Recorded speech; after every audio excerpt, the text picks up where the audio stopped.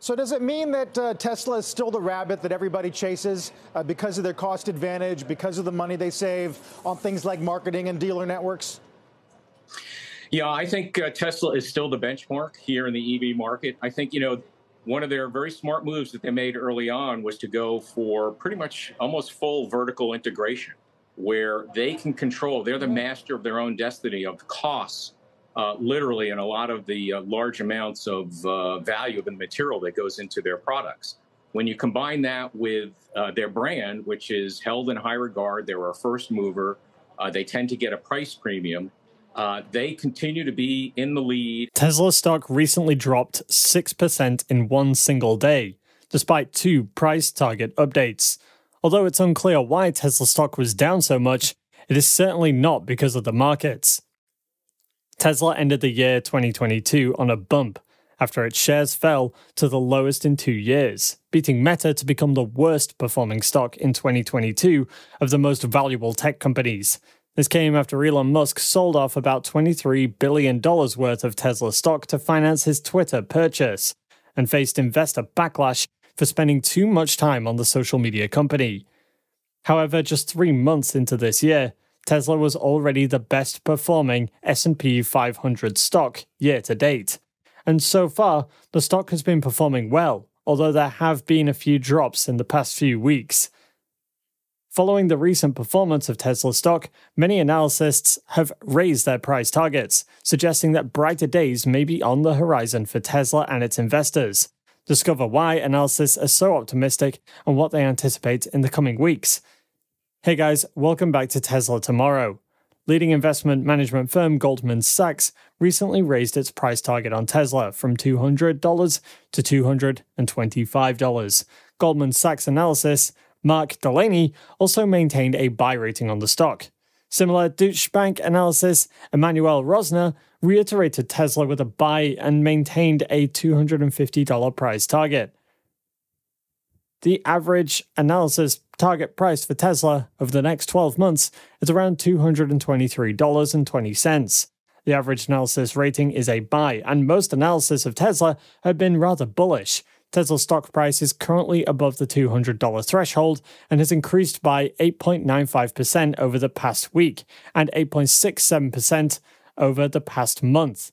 How has Tesla stock managing to perform like this, and how is it going to perform in the next two months? And what do these analysts think of Tesla? Keep watching to find out. But before we get into it, if you like this type of content, hit that like button, subscribe, and turn on notifications to keep up to date on everything happening with Tesla. Tesla has a high market capitalization and is among the top quartile in its sector, making it more stable. It has delivered superior risk adjustment returns, return on equity, return on investment capital, and return on assets compared to its peers.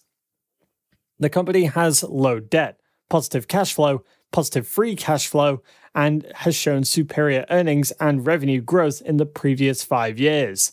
It also has a high gross profit to asset ratio, indicating superior returns in the long run.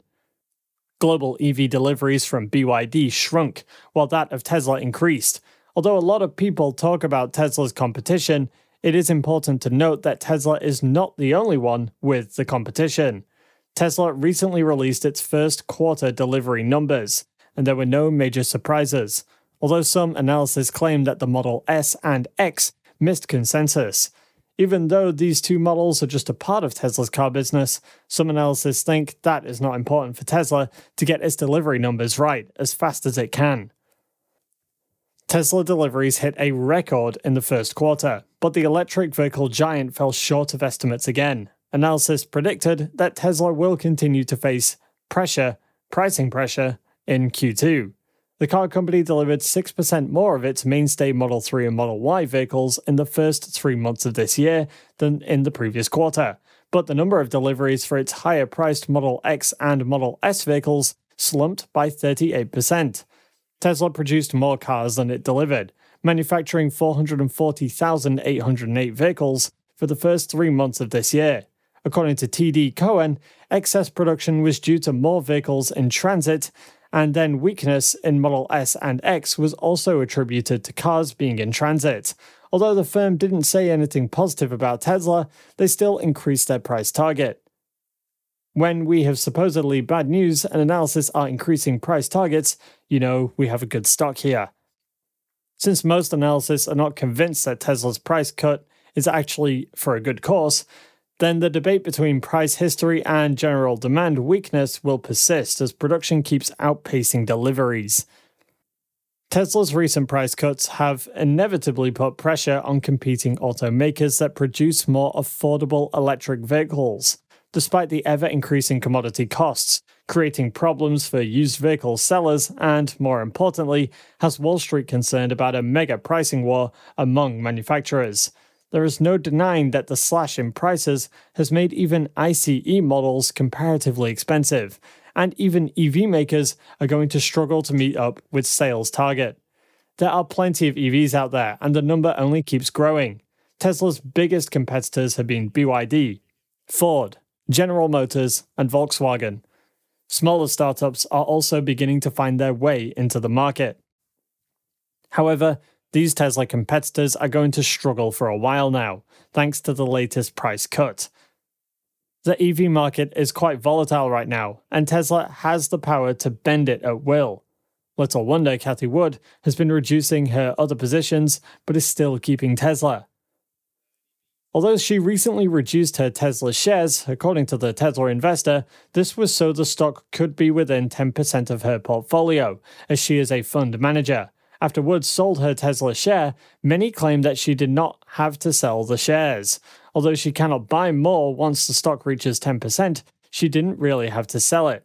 The price war started by Tesla has made it much more difficult for US startups like Rivian Automotive and Lucid Group to grab market share in an industry competing for sales.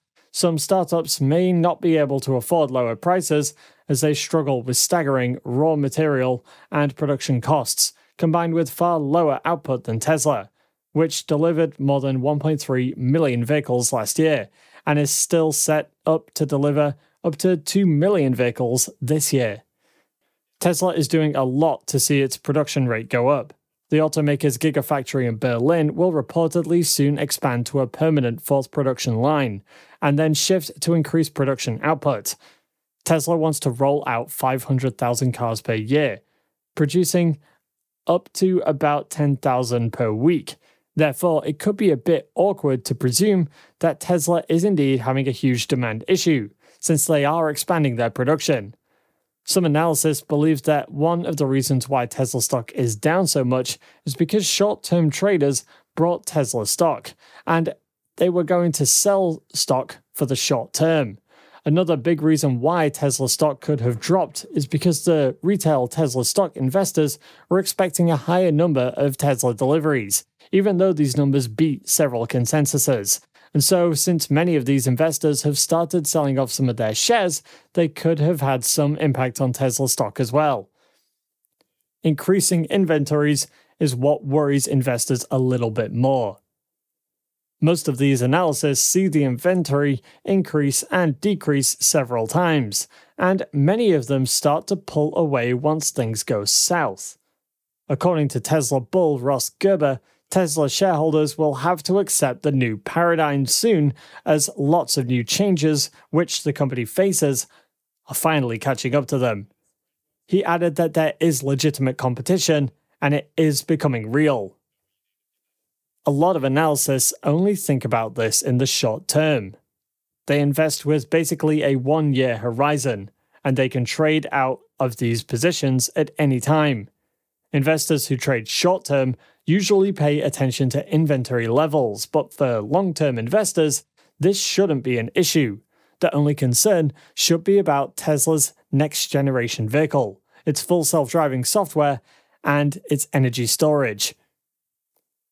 In recent news, Tesla released a new charging system called the Cybervolt. According to Tesla, the Cybervolt is a single phase 220 volt charging device, capable and compatible with charging all Tesla models, and the corresponding charging performance is about 32 amps, 7 kilowatts. The charger weighs 13 kilos and it's capable of running a cable about 6 meters long. This device also comes with installation included and supports plug and play charging, scheduled charging or departure on time, and other charging experiences. The interesting thing is, this device has a pretty good value and is priced at an equivalent of roughly $800. At this price, Tesla will once again make extra income on its car sales aside from FSD. This is a reminder that Tesla does not really need to grow 50% year over year to achieve high market capitalization in the next few years. What are your thoughts on this? Let us know down below. And don't forget to tell us what your valuation of Tesla is. And if you want to know more about what Tesla's been up to over the last few days, go ahead and click on this next video on your screen. See you there.